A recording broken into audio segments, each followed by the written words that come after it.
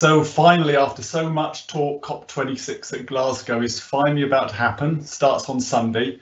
And with a very significant University of Reading involvement, we're going to be there physically and we're going to be there virtually.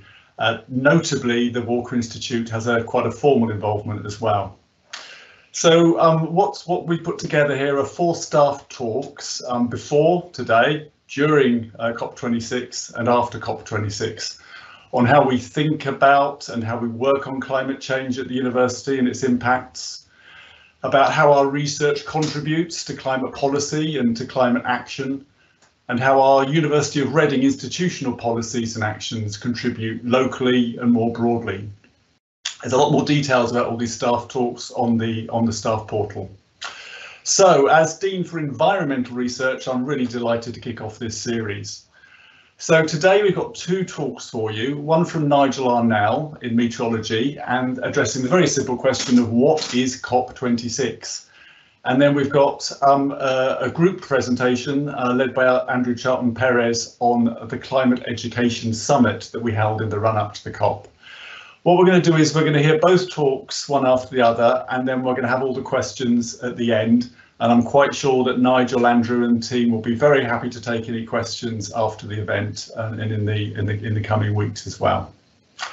So, without further ado, I'd like to introduce Nigel for the first talk. Nigel is a professor of climate science here at the university, has been a long-time contributor to the various um, uh, international reports on climate change, and has recently uh, spent time on secondment to the Cabinet Office in government to work on UK risk and resilience planning.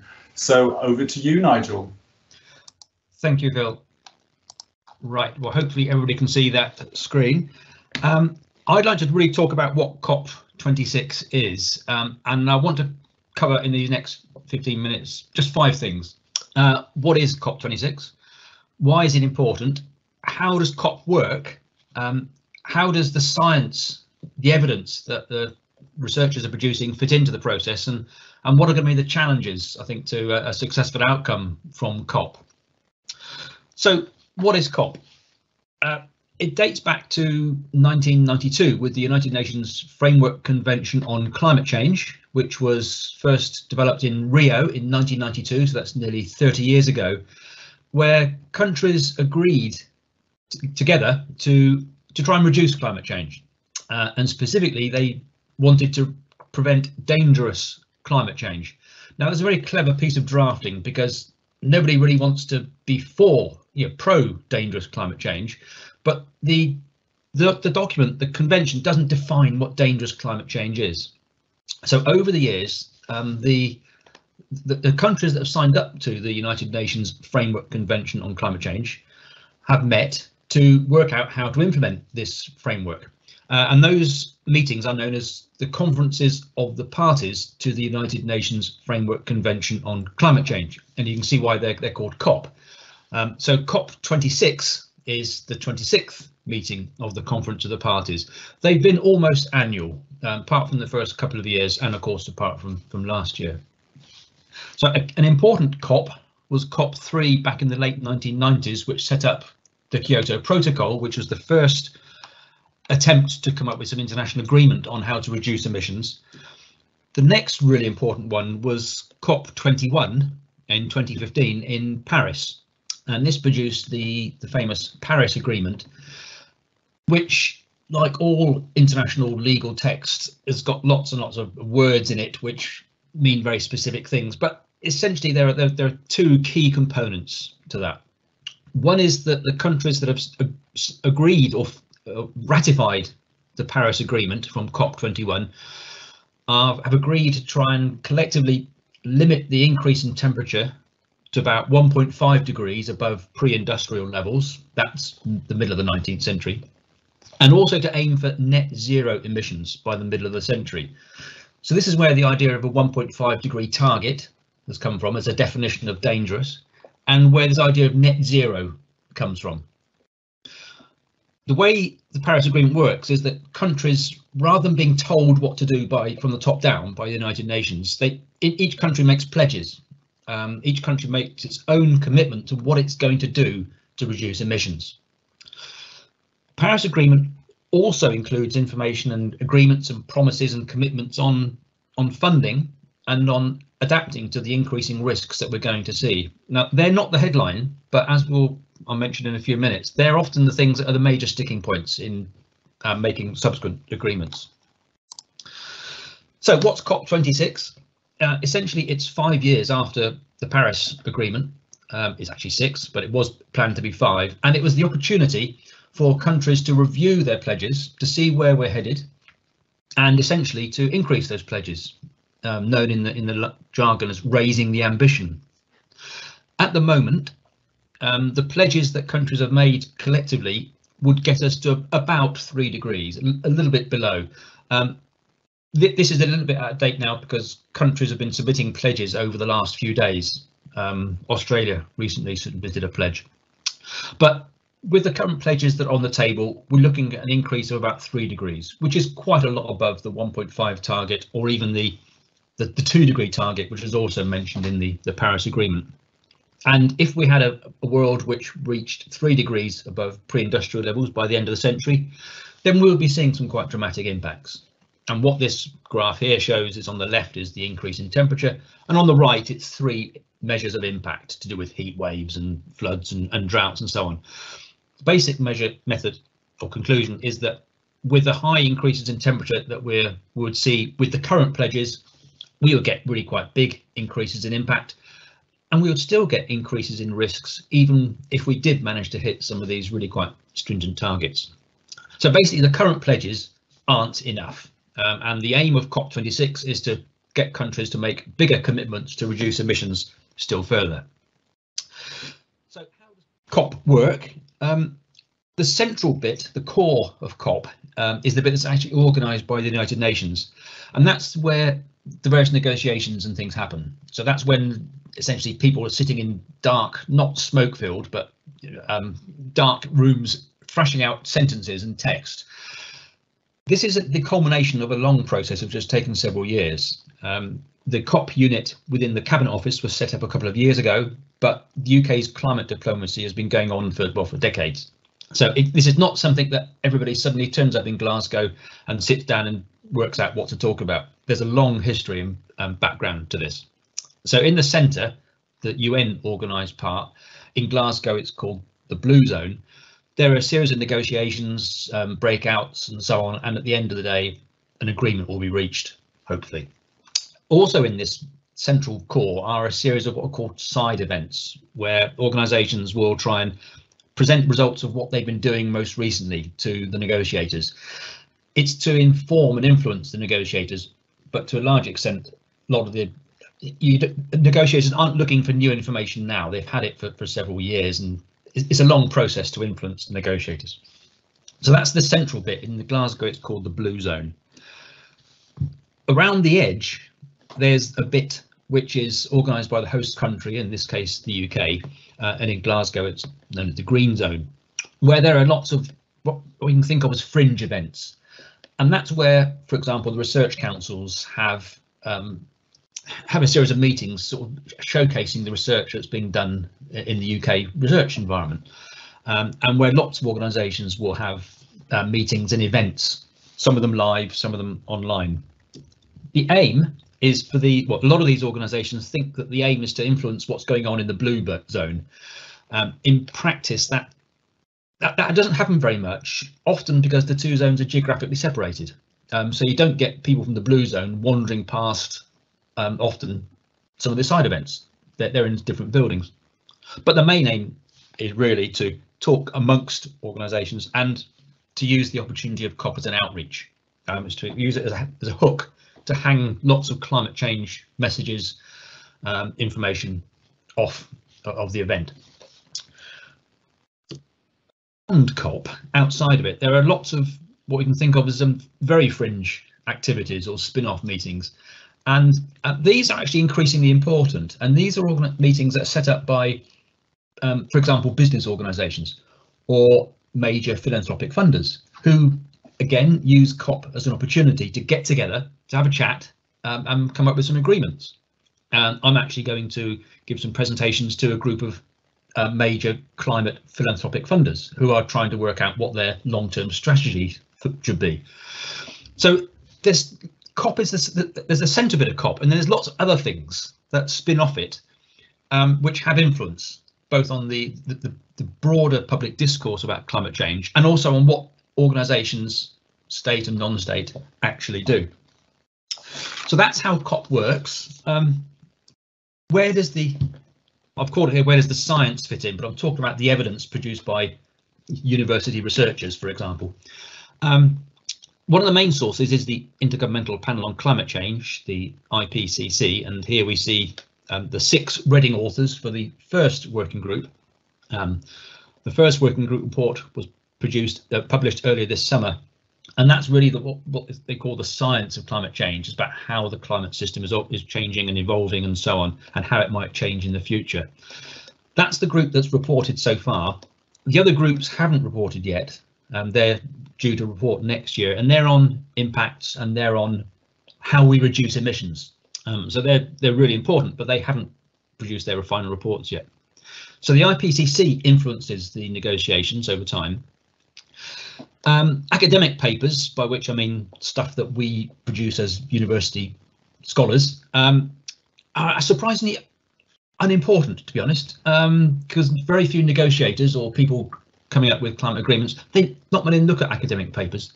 They look through IPCC reports, or they look through reports and briefings by organisations, um, by what they perceive to be reputable organisations. And here I've shown a picture of a the, the front cover of a report produced by Chatham House, which is the uh, so the independent organisation in the UK that looks at foreign affairs.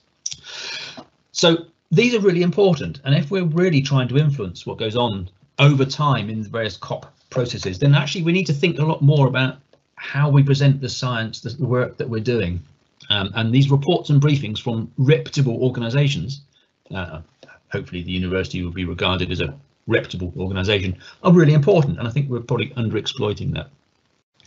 Um, and the other thing I just want to highlight here um, is that there's a lot of research a lot of research tends to be rather um, quantitative, if you like. Um, but a lot of organisations and a lot of lobby groups or agencies are interested in the really big consequences of climate change, the impacts on food security or displacement or migration or collapse of civilization. And going from the, the science at one end to these big consequences at the other is really complicated. Um, and it, it's I mean, in many senses, it's not actually a quantitative science problem. We need to think really creatively about how we can come up with plausible, robust narratives describing what the really big consequences of climate change could plausibly be. Otherwise, um, the, the ground is taken up by extremists who have one particular view on what could happen about how it could be okay or it could be absolutely catastrophic and so on. And I think this is a big gap um, about translating some of the quantitative work that a lot of organisations do into the things that people are concerned about um, and having some robust evidence to underpin that. And we've got a scope there at Reading to, I think, to do that.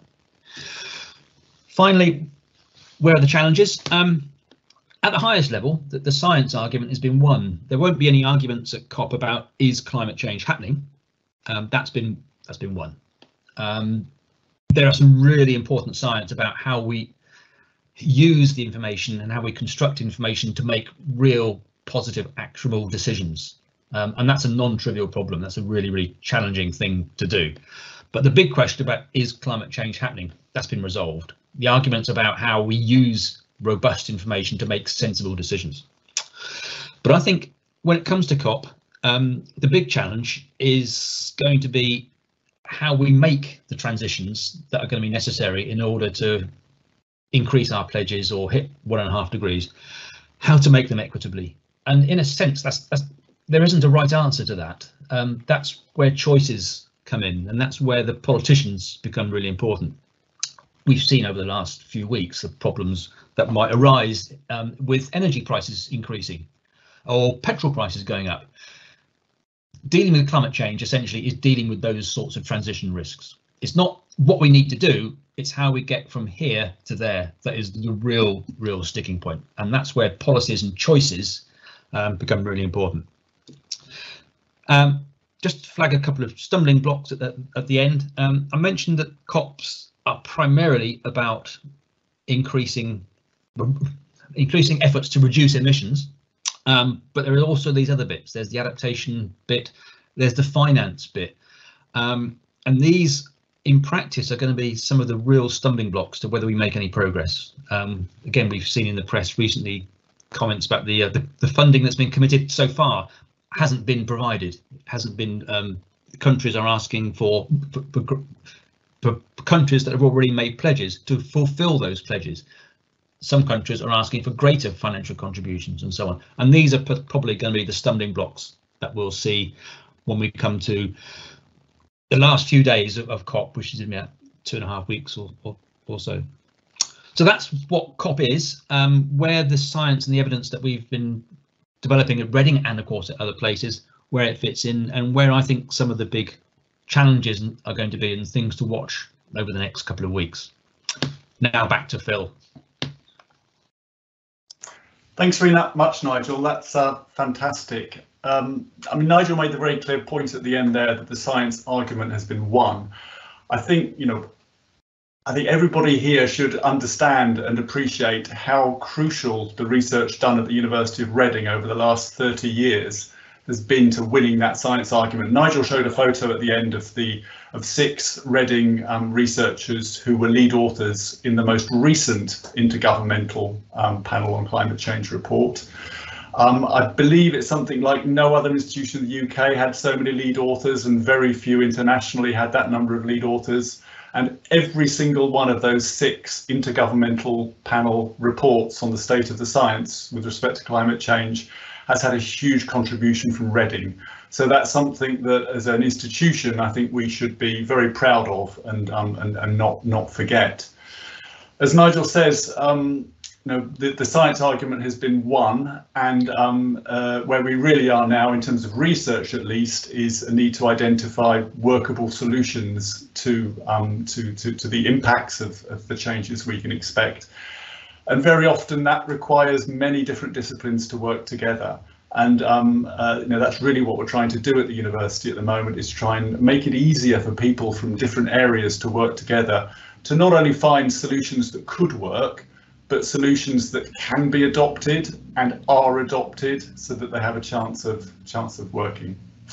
But of course, this this annual COP also gives us an opportunity to um, to uh, because it's in the public eye and public profile to um, do other things in terms of public engagement with respect to um, climate change and, and, and education and so forth. Which brings us to our second talk, which is about um, because we had the COP coming up in Glasgow this year, um, Andrew and many others across the university um, uh, created a climate education summit, which was run in September.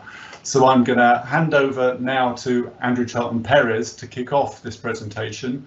Andrew is an atmospheric scientist with a long-standing interest in public engagement in weather and climate.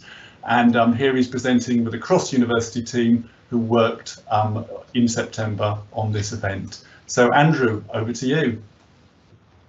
Thanks very much, Phil. So um, the, both your introduction there and and Nigel's uh, introduction about COP is, is a really great lead into to what we've done with our climate education summit, which we called Climate in the Classroom. Um, but before we go into the detail of that, I just want to play a short video which should hopefully give you an idea of, of, of the motivation that we took in, in setting up this initiative.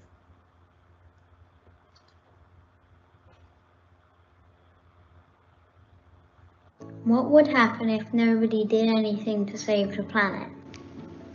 Climate change is the biggest crisis facing the world today. It's really important that we learn the facts about climate change at school so that we can know the truth. I'd like to know the impact of climate change on animals and the environment around the world. I would like to learn about how people's life is going to be like in a changed climate. I know that electric cars are better for the environment as they have 40% less emissions than diesel or petrol vehicles. What I want to know is that how will we dispose of those worn out batteries, say five years hence? I hope we don't create a new monster. How will you help schools to make learning about climate change fun and so that we will remember it? I know climate change is important and my generation needs to know more about it. I think that we should be taught about endangered species and how climate change is affecting them. Some children don't know about global warming. Making more vegetables at home will, will stop um, pollution and help animals.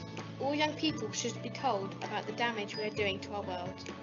If we don't know, we can't help. I think that we should go on more school trips and do more activities to help climate change change. If all school children could spend one month each year learning about climate change, then we could learn to protect the world. If we don't do something about it now, it could be too late. That's why it's really important that we learn about it in our schools.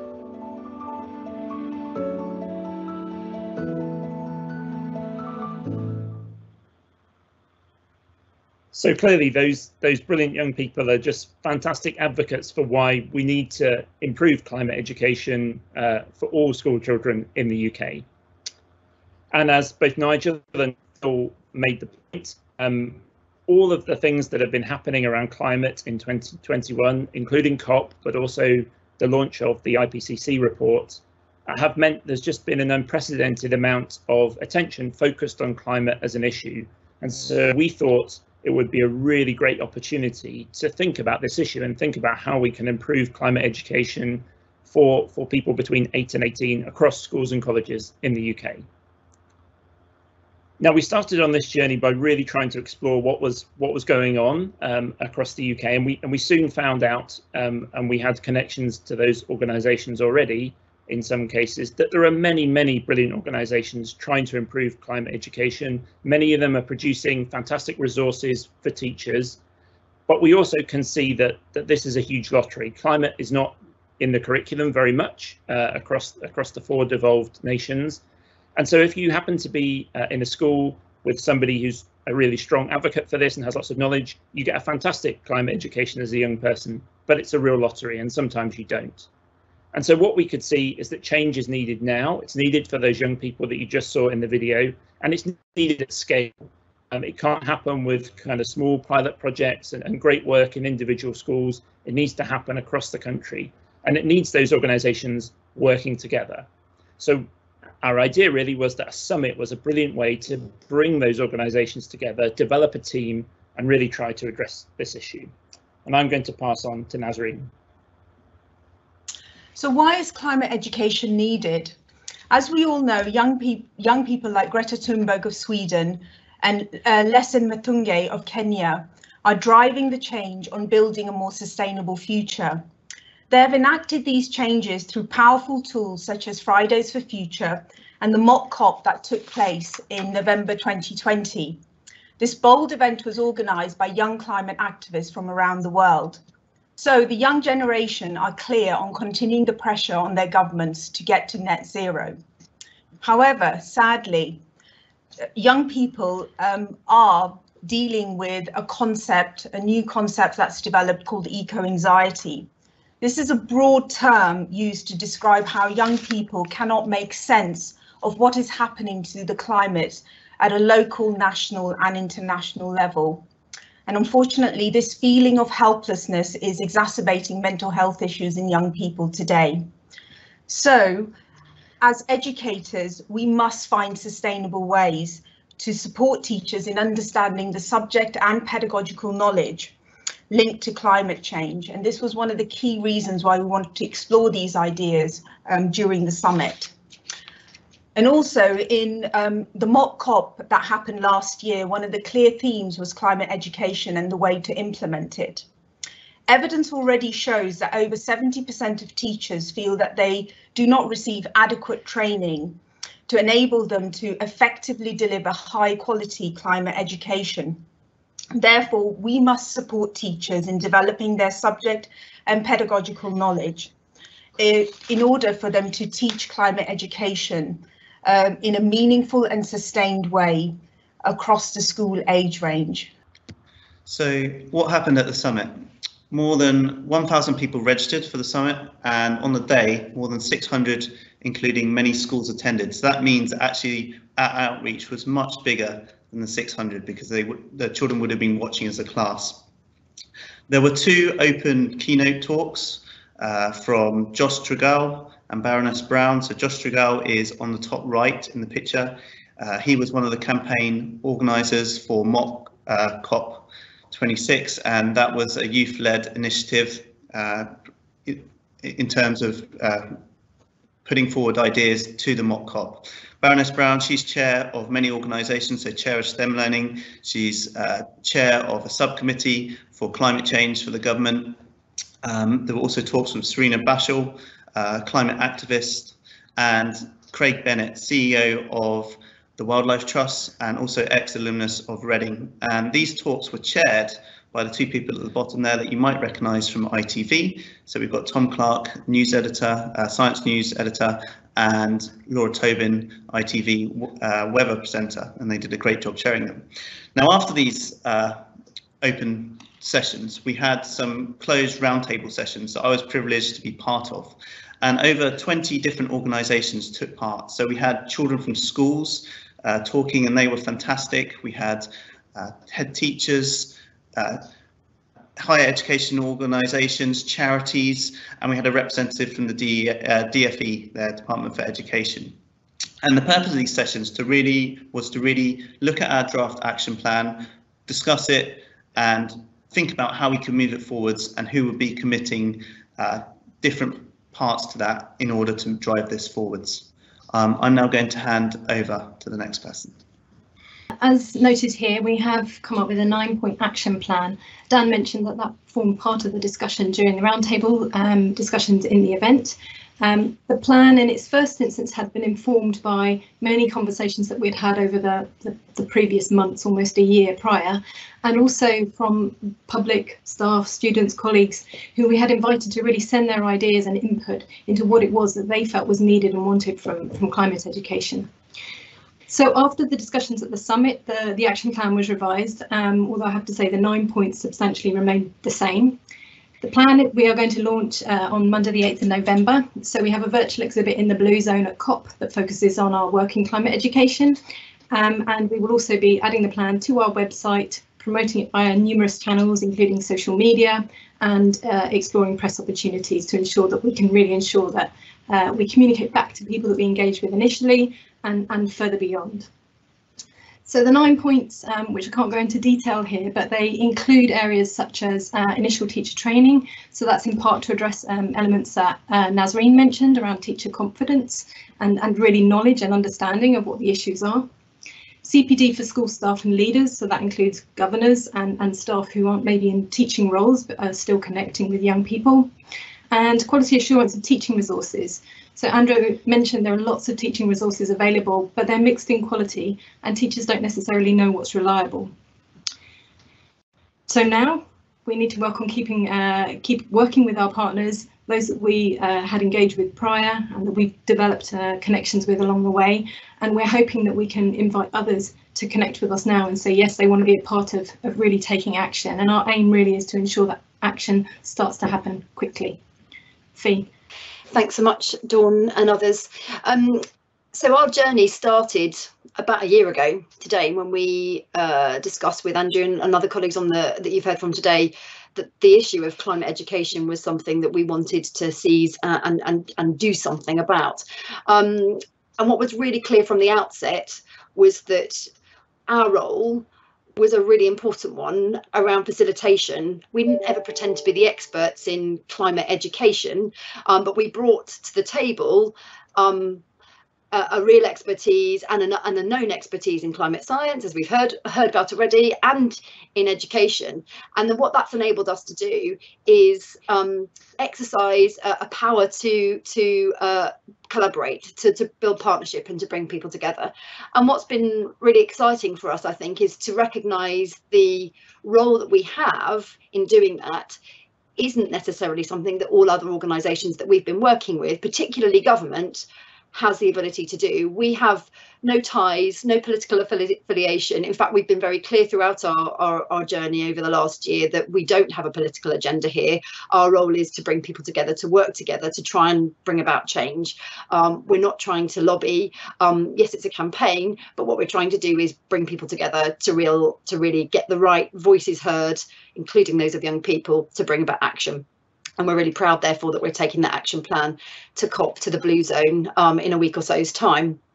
So as I've already mentioned, our standing within climate and environmental science um, and that of education has been a really important a really important aspect to this um, and having the ability to be able to work with our colleagues across the university not just from meteorology or from the IOE but colleagues from, from many other departments and professional services was a really important part of this experience for us this wasn't about um, just uh, raising the profile of the work that we were doing, but really trying to bring about some meaningful action and some meaning, meaningful change. Um, I really wanted to close our presentation by saying a big thank you to everybody that's been involved in this work. We are, as I've already mentioned, exceptionally proud of where we've reached, that we are taking this action plan with a huge following since the since the summit took place on the 15th of September, we have had many, many, many follow-up conversations with people that we hadn't already been in contact with, where doors have been opened, further action has been pledged by many other many other people and, and organisations, and including an increasingly close working relationship with the Department for Education, uh, which we feel very, very positive about how we can build more on as we go forward. Um, also really proud of our alumni contribution, as, as Dan mentioned, Craig, Tom and Laura, who played a really important part on the day of the summit, um, and that work and their involvement continues. So a big thanks to everybody that's been involved. We really are only at the beginning. We're launching an action plan. We've got a, a significant role to continue to play in this and, and would love to hear from other colleagues uh, who are interested in this subject about the role you might be able to play or, or any further advice and guidance that you might have to us as we take this take this out into the world.